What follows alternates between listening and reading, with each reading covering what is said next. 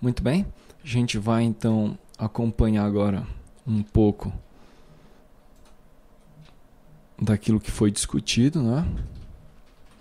Para elaboração do módulo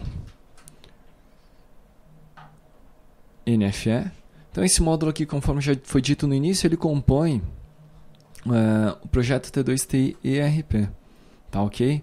Então ele tem ele tem um ambiente onde foram discutidas é, todos os requisitos, tá?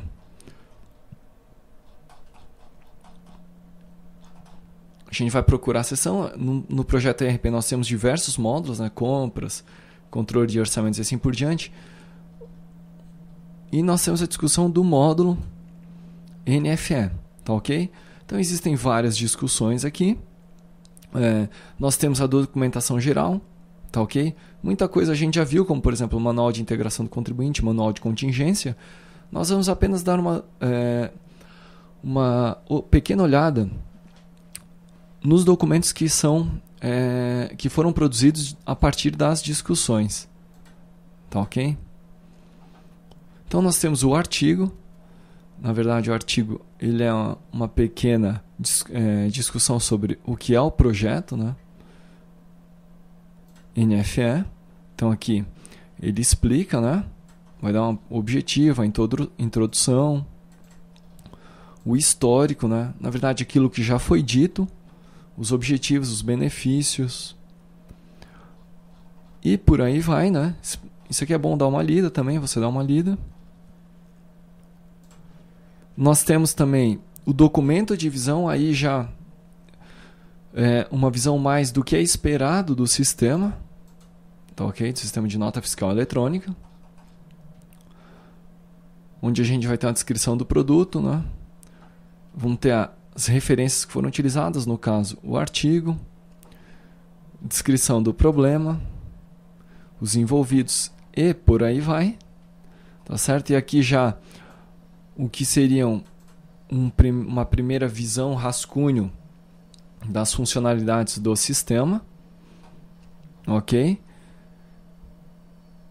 Posteriormente, nós temos aí o Product Backlog e o Sprint Backlog. Eu vou abrir logo o Sprint Backlog, que ele é idêntico ao Product Backlog.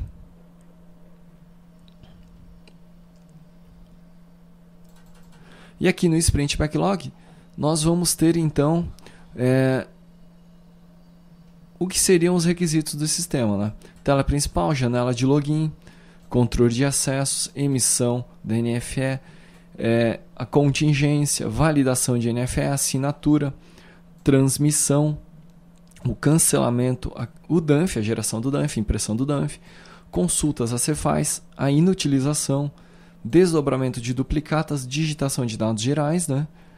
cálculo de peso dos itens, modelos de etiquetas, minutas de despacho e envio automático de dados. Então, isso aqui são todas as funcionalidades é, que o NFE do projeto RP é, vai precisar ter. No entanto, nesse momento a gente não desenvolveu todas elas. O que a gente fez foi, e o que eu vou mostrar aqui é toda a parte de validação, assinatura, transmissão e geração do DANF, além da consulta a Cefaz, tá ok? Tudo isso utilizando aquele nosso é, o integra, o, aquele componente da UniNF é integrado ao nosso sistema. Nós temos aqui também tanto o XML uh, do DER da NFE quanto uma imagem. Tá ok? Então aqui eu vou mostrar a imagem. Nessa imagem, então, a gente vê é, o diagrama da NFE, o diagrama principal, observe. Tá ok? E nós temos também a relação daquelas tabelas que são utilizadas, né? Como tabelas que são, serão utilizadas. Então depois você vai olhar isso aqui com calma, tá ok? Mas esse aqui é o diagrama é, da base de dados do nosso sistema de nota fiscal eletrônica. Tabela principal, NFE cabeçalho e NFE detalhe. Na, aqui nós temos emitente, destinatário e assim por diante. Tá ok? Então, em relação à documentação do projeto, é isso.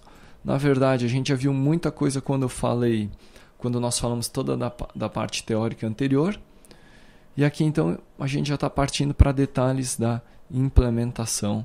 Isso aqui é a estrutura do nosso banco de dados. Na sequência a gente já deve partir então para é, análise do código. Na verdade a gente vai fazer um, uma pequena visualização da aplicação e depois a gente já parte para análise do código.